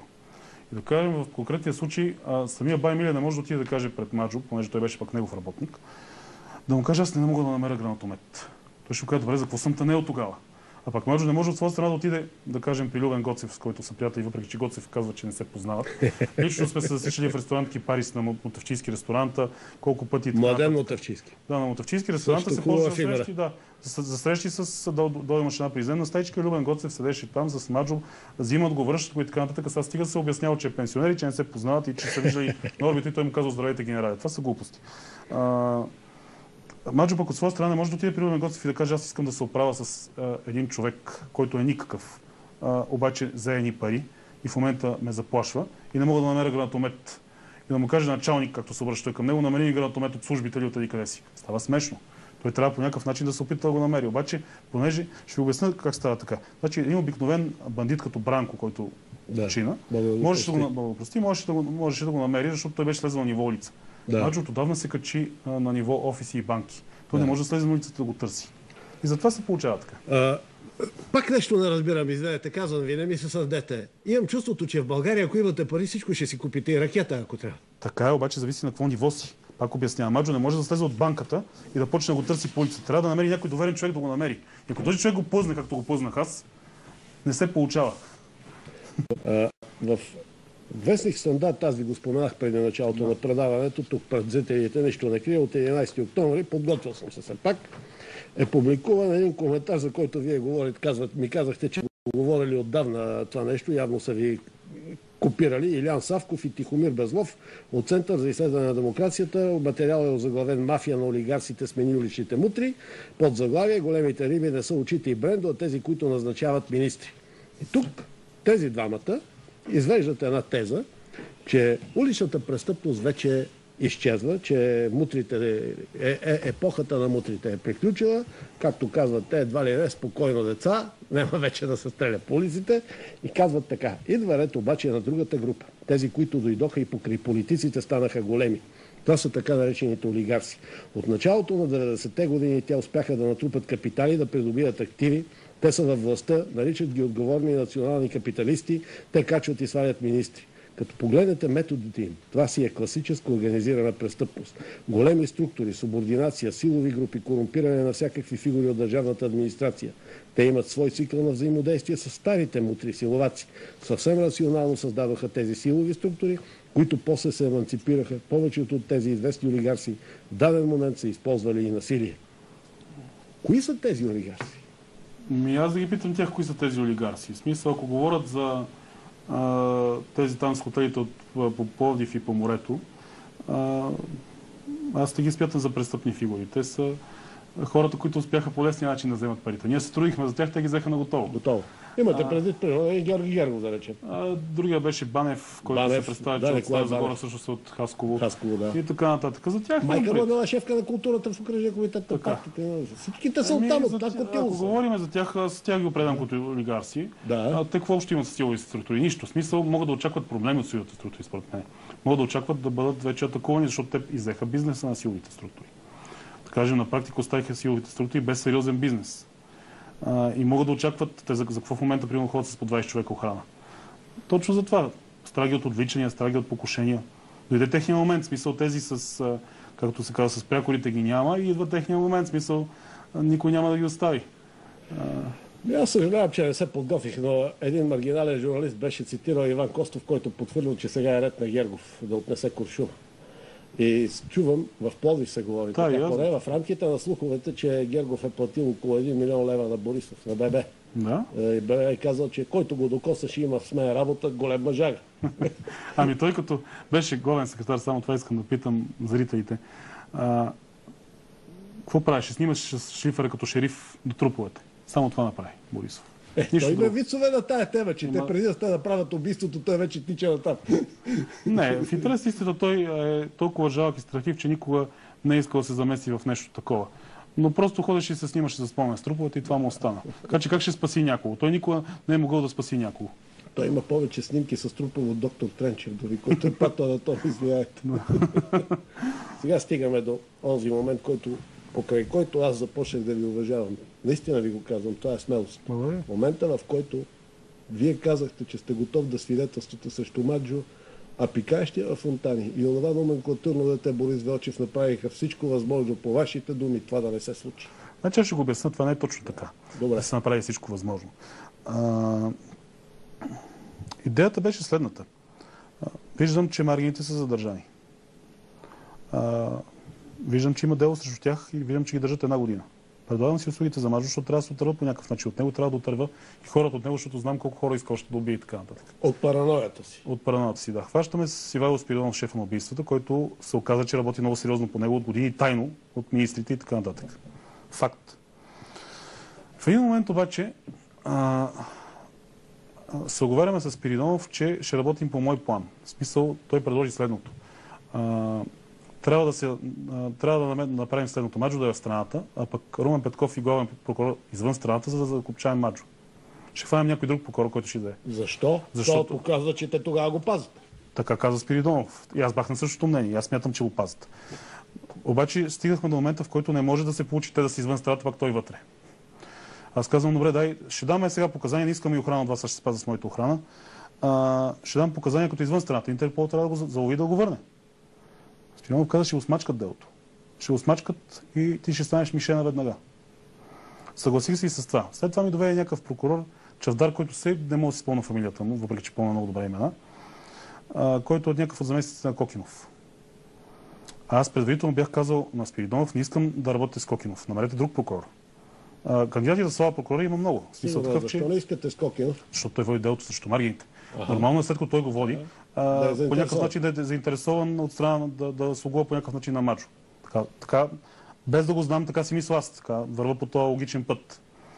А, обаче казва, говорихме с Кокинов, каза, че няма проблем. А, още повече, че Спиринов мечтае, че ще стане главен секретар, защото ако, който задържи може, ще стане главен секретар. Дума. А прокурора, който пък даде тази заповед, ще стане главен прокурор. Едва ли. Ами така, не, наистина можеше да се получи, ако Маджо беше... Много номенклатурна длъжност е това. Те си я пазват за специални. Ами, като... Въпреки, че Филчев не беше в началото, като че ли такъв случай. Така е, но като се сетим наистина главният прокурор, откъде дойде, откъде се спусна, нормално е да, Да мислим така. да мислим така. Правилно. В един момент а, ми се обаждат на пожар, че Младже е влезъл в България, те седат в компютъра, че е пристигнал в България. И то точно на свидетелствата по делото, не съм сигурен къде беше. Или на Баймиле, или за Маргините. Че на другия ден ще свидетелства. Значи, логично е, след като е дошъл, наистина беше решил да свидетелства тогава. Говорим за ноември месец миналата година. Да. Сигурен съм, че е дошъл да свидетелства, защото нямаше защо да дойде предишната нощ. А, казват ми, ще дадеш ли показания и ме завеждат в едно кафе с този прокурор Чавдар. Говорим за един служител на Спиридонов. Ме завежда Спиридонов за ни през 5 минути и пита Жоро, даде и показания. Извинете. Моля ви се. Сядаме с, още докато се возиме в колата с прокурор и служител, служителя на Спиридонов, прокурор ме пита, доколкото разбирам, имате дума срещу дума. Казвам, аз това го казах на Спиридонов и преди това. Нямаше нужда да стигаме до тук. Той каза, срещу, дума срещу дума нищо не мога да направя. Казвам, добре, хората с маргите нямат и дума срещу дума. Още повече ние нямахме дума срещу дума. Имахме си един а, човек, който беше отишъл а, в, при тях в убийствата, да каже, че съм го наел да извърши убийство. Така че този човек може да го използваме. Това е една много дълга и сложна история, която Да, сега не мога да, да обясним такова да, накратко. да. Значи нямахме дума срещу. Имахме оръжие, както имаше при Маргит, имаше всичко. А, но на практика аз можех само да кажа това, което ми е поръчал Маджо. Другото полицията трябваше да го разработва. Тя го беше и разработила. Но прокурора настоя, имате дума срещу. Аз викам, добре, какво, какво ми казвате, какво трябва да направя в този случай? И дума срещу дума, такъв един жален. Викам, а, да се откажа ли? Смисъл, какво ще направите за мене? Ми, нищо не мога да ти обещая. Пак го питам. Викам, доколкото виждам, биеш от бой. Направо така директно. Минахме на ти и му казвам, доколкото виждам, биеш от бой. Той казва, не, аз съм по екшените. Обаче в случая на дума срещу дума, това си го повторя. Викам, добре, кажи ми какво ще направиш, ако сега дам показания. Ми той нямам, не мога да ти дам гаранция, примерно, че той започна да разпитва. Ти знаеш ли дали Маджо се познава с Борис Велчев? Знаеш ли дали е близък с Кокинов? Близки ли са наистина толкова с Румен Петков? Започва изобщо да ме разпитва такива неща. Знам, а не мога да го докажа, смисъл, как знам го само от приказки. Какво ще направиш, пак го питам аз, ако дам показания? И не мога да ти гарантирам, че дори два часа ще го държа в арест. И като видя, че аз се отдръпнах, вече ме пита така от кумова срама. Вика, ще питам, като в едно предаване там, «А, имаме ли сделка? Сделка или не? Казвам, нямаме и се обърнах и си тръгнах. Каква сделка при това положение? Каква сделка да, направим? Представителя на властта. След което а, на, на другия ден ми се обажда пак на пожар същия служител на Спиридонов, на шефа на убийствата. Идва на среща и казва, Жоре, с нощи са ни предали. Шефа, Да, шефа е дошъл на среща, са го повикали. Значи, докато ние сме били с този прокурор Чавдар, Кокинов се обадил на главния прокурор, той се обадил на Роден Петков, Роден Петков на Спиридонов и се събрали четиримата на среща. И а, сега Роден Петков знае кой си, е, знае всичко и са ни предали. Викам, добре, вие какво мислите да правите? Ми не знаем и ние. Мислиме да не се чуваме повече по телефоните, защото ще започне да слушате нашите телефони. Не трябва да ни се обаждаш и ние няма да ти се обаждаме. Да, освен да си правим някакви тайни срещи. И какво излиза, че властта Аз казвам, на карай ме, престъпници? карай ме при Спи- при Спиридонов. Да. Отивам при Спиридонов, той си поправя колата. И казвам, какво, какво направи човека? Защо така постъпи с мен? Казах ти, че тези хора са опасни, в смисъл знам, че Маджо е близък с тях, защо го направи по най-глуповия начин, защо не послуша да го направим по моят начин. Трябваше да фанеш някой прокурор съвсем, не Кокинов, съвсем далеч от тези неща. Той ми казва, а, ми ти нали не даде показания вчера. Какво? Нищо не мога да направя за тебе. Към каза, как да дам показания, като вие не ми обещавате нищо? Но в същото време ви предали. След като се ви развиках по него, и казвам, сега това ще стигне до пресата и така, така, моля ти се не дай започне ми се. А, моля ти се запазиме. А, след като престанаха да ми се обаждат. Да. Обаче на другия ден Маджо не се появи на делото. Аз сега- сега вече идва най-интересният момент. Писат.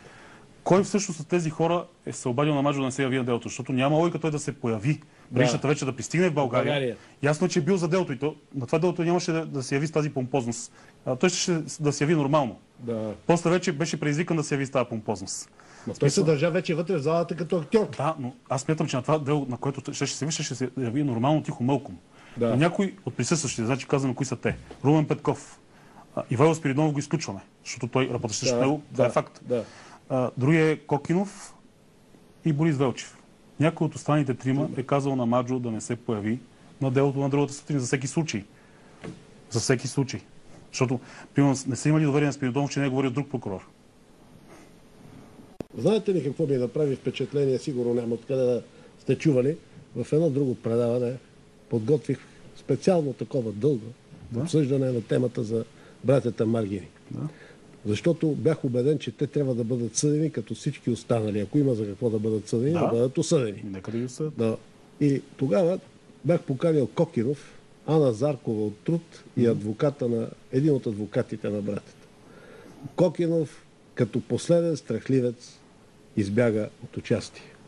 Ана Заркова също се обади, че ми учеше там явно, че Тошко Тошев не й дава, там, които, от които зависи хляба и не й дават. Накрая в 20 часа дойде и адвоката им и той се отказа. И дойде Янко Янков, за да ме спаси и коментирахме този случай. Това са съвсем дребни мизерници, да ви кажа честно. Знам, но за да не бъда опрекнат, че примерно... Ето, Не, аз го казвам. Да, сега ви казвам нещо друго, се сетих. Че, примерно, говоря за Маджо, пък бягам от маргините, ще ви кажа нещо, което Спиридонов може да потвърди. Аз съм предлагал да съдействам и за маргините. Смисъл с човек, който съм чувал, че е работил за тях. И съм предлагал да съдействам да говорим с него, да съдейства, за да делото да свърши по-бързо. Значи това го има записано, като съм го говорил. И може да бъде. Защото след като пуснах тази книга, излезе, че съм обслужвал интересите на маргините. А, чакайте, това е най-лесната работа. След като с още чух, че от щаба на Мартин Зимов пускали а, слуха, че моите родители били активни борци против капитализма и фашизма, те ще се обърнат гроба, значи не дейте да се А след като излезе повече. втората ми книга, а, а, Бойко Борисов каза, че някой ме поискал 100 000 евро. А, това, а, обаче във вестника, в който излезе това нещо, не ми дадоха право на отговор. Казаха, че той... Аз исках да го попитам, кой му е поискал тия 100 000 евро, за да не излиза книгата. Той Да не излиза каза, книгата. Варна на откриване на кампанията си каза, че сме искали 100 000 евро. Кой му ги е поискал тия 100 000 евро? И обадих се във вестник, говорих с много хора, казаха ми, а, че не мога да го ругая, в смисъл, защото аз бях писал опровержение. Значи това, че го питам кой му ги е поискал, е ругаене. А той може да го казва, защото той не би бил казал името, бил казал само книгата. Ами тази книга съм я написал аз, не отгоре си моите. Да, Има издател, нека, да питат, нека, питам го, кой му го поискал тия пари, за да не излиза книгата. Два месеца преди да излезе книгата му поискали. не, не, не му стиска дупа, извинявайте за израза да го, Ми, да не, го не стиска това, е това са съвършени буклуци за мен. Това не са мъже. Те само изглеждат така. А, отвътре А, сега ще стигнем вече до литературата и ще ви задам два неприятни сигурно за вас Няма въпроса. Говори се, че вие сте бил информатор, така казват, на покойния Христо Калчев, познава го, Бог да го прости. Не бяхме близки приятели, но се уважавахме взаимно. Вярно ли е това? А, тази, дума информатор аз не я харесвам. И аз не я харесвам, но Информатор, не е смисъл. Говорихме си така приятелски. а, сядахме и аз му обяснявах, исках, дразнеше ме това, което той пише в книгите, исках да му обясна, че ние сме обикновени хора, не убиваме по 100 човека в секунда и така нататък. И му разказвах тези неща. Това е, това, това беше приятелство, което аз исках да му да разкажа истината за нашия свят през него. Не, те го изкараха едва ли не, че вие живеете покрай тази работа. Покрай Христо Калчев. Да. Той, той живееше покрай мен, не аз покрай него. Втори- значи тук искам само да, Да, довърша за Христо Калчев, понеже никъде Да. не ми дадоха възможност да довърша за него. Даже когато в някои предавания казах нещо, те после го изрязаха. Пълна възможност да поеде. Значи, за мен той беше обикновен измамник, който вие, журналистите, превърнахте в герой, а, Значи, легенда и сега ще се засегна. Аз никога не съм бил журналист. Не, Аз съм журналист. коментатор. За мен журналистическата професия е Добре, проститутска журналистите- и се обиждам от това. Журналистите го превърнаха в легенда, мит и така. Той си беше обикновен измамник, митоман и така нататък. Това е. Бог да го прости, Да, до край да. бях, му помагах и така нататък, но той беше такъв. Имаше много други дефекти. Така е, някой създаде всичката тази Всякакви работа. обаче пък смееше да говори. Значи, въпреки че беше възрастен и болен, а, а, посмя да каже някои истини. Разбира се, и добре, друга тема. Хайде да го зарежем. Не ние той. Да. С нищо не е да. допринесъл според мен за... Уточнявам го просто, да, за зрителите да, го уточнявам, да. за да се избегна от Вторият е въпрос, който може да ви е по-неприятен. Някъде излезаха въпроси. съобщения, че Владо Даверов ви пише книги. Ми питайте го аз. Той даде опровържение в този вестник, като излезаха, само че те не му го публикуваха. Така ли? Да. Същия този вестник не му го приеха опровържение. журналистика. Да, не го приеха. Какво значи Вал Довере го пише? Той, значи, говориме, ако говорим за тези първите, защото аз имам вече 10 книги, Да. а, той за тях наистина ми помогна много. Пренареди ми изреченията и така нататък.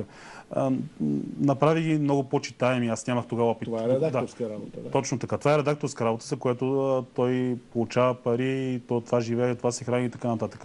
Но да ги пише, а, мен ми се струва, макар че Вода е много голям писател, а, че в момента аз мога да напиша някоя негова книга, не той моя. А, докато в тези книги, той, те, те го опрекаха точно за тези двете книги, които са Да, пред за вас. Но тези книги той дори не ги беше виждал. Тези книги изобщо не са редактирани от никой и никой не е помагал за тях. Наистина в първите книги помогна много. Да, е Но хубаво да ги е да писал, изясним. силно казано. Хубаво Аз е мисля, да че тези книги... тези неща. Да, ето То Те са част от а, литературната клюка, да ме прощават. Така е, но тази литературна клюка ми завижда за големите тиражи. А, завижда ми, че се появявам от никъде и изведнъж продавам страшно много книги. А, завижда ми, че а, те толкова години се опитват да, да обрисуват това нещо и не могат аз го обрисувам а, с, още с първата си книга. Нормално е да ме мразят. Това е съвсем нормално. Вие знаете писателите какви са. Не, не ги знам общо взето. Знаете ли, аз живея от 25 години като учебник. Гноса се от а, този вид от а, общество. За мен те не са и писатели, те бяха слуги. Друга Вярно е, бяха да. слуги, изведнъж сега се превърнаха Да, в критици. Да, на... да, да, да. Последни два въпроса, времето ни неусетно изтече. Първият въпрос е, според вас, на къде вървим? На къде върват бившите групировки? Те наистина са бивши. Превръщат ли се в нормални бизнесмени и ще ги приеме ли обществото като такива? Не смятам, че са бивши. Аз смятам, че са си настоящи. Настоящи. Нито, нито една групировка не е разбита. При положение, че маргините излезаха три пъти по-богати. Това значи, че са разбити. Докато бяха От затвора от затвора, докато бяха, продаваха мола Сити, който е долу. А, на Опалченска. да, продаваха чистотата. Те са три пъти по-богати сега. Вътре, докато бяха, аз никой не пожелавам да е вътре да стане по-богат, но не са имали разходи за охрана, които са много големи. Така че, какво значи разбити? Не са разбити. Маджо си го има. В МВР му. Румен Гатайски вълка си е техен. Вълка не е силов играч, но пък е човек, който много сериозно парадира с пари на гърба на хората, което много ме дразни. Това е. Тоест можем да очакваме все още бели. Продължават. Продължава. Те продължават. Докато тези хора не са разбити, това си продължава. Ето, казваме, Маджо и Маргините, те са живи и здрави, макар и Маргините по домашен арест си управляват парите, могат да контролират. Маджо пък още по-лесно. Никой не го търси за нищо, напротив, даже го лесняват. Какво значи разбити? Има ги, на лице са. Всичко, това всичко продължава. Може да започне да стартира отново. Не можахме да поговорим за търговията с наркотици, за други неща, но ако не възразявате и имате желание да ви покана Стига отново да с продължим. Да, и двамата. А, По-страшно е за вас, разбира се. Аз, а, аз не се плаша от нищо, да ви кажа честно. Но последен въпрос. Какво пишете в момента, кога да очакваме следващата книга? Ами, значи, БГ Кръстника 3, която ще излезе. Продължение на тези две. Да, която ще бъде в началото на декември. Тоест, след около малко повече от месец за коледа ще има на Точно пазар. Да. Е, може би ще в началото на същата година, ако не има, и ако го има и това предаване, може да се срещнем отново С удоволствие. наистина последно питане. Нашите зрители не разбраха. Защо отказахте да отговаряте на техни въпроси? С риск да увида и вас и тях, по това време петък подпинали са, иска да се, иска да се упражняват върху мене. Аз не обичам така. В смисъл, готов съм някъде да се срещнем и така, ма така по телефона не обичам. Аз съм човек, който лесно се пали. Сега даже откриха на тайна, така че в смисъл, знам, вече ще знаят какво да ме провокират. А, добре, благодаря ви за участието. Искам да ви кажа, аз въобще не се обиждам. Убеден съм, че и зрителите не се обиждат. И гледайте едно-две такива предавания, ще видите. Изумително интелигентна публика се обажда. Тук няма негативизъм, тук няма псовни, тук няма рогатни. Тук се обаждат наистина хора, които са подготвени и задават конкретни въпроси, но това е за друг път. Но може да има и подставени. Вероятно, но добре, ма ние ги приемаме с усмивка тия хора. Те винаги ще съществуват, ще паратизират върху такива Другия път като вас. обещавам, че ще им отговоря. Добре, не, не, не, не, аз не го казвах за това. А, благодаря ви за участието. Желая ви да сте здрав, да не ви стига нищо лошо. Бог да ви пази и да се освободите постепенно от това чувство, че понякога и убийството помага в конкуренцията. Това е от мен. А, на вас, уважаеми зрители, благодаря за вниманието и не забравяйте, че в 22 часа диагноза продължава. И тогава вие ще имате думата с коментари за това, което се е случило през седмицата. А сега на онези, които няма да могат да си позволят да гледат от 22 часа, пожелавам да имат много здраве. Не знам дали ще участват в избори, това си е тяхна работа, да се усмихват, да се обичат и да знаят, че в понеделник от 22 часа кабинета за политическа диагностика ще бъде отворен отново, за да ги почнем. До тогава Бог да ви пази.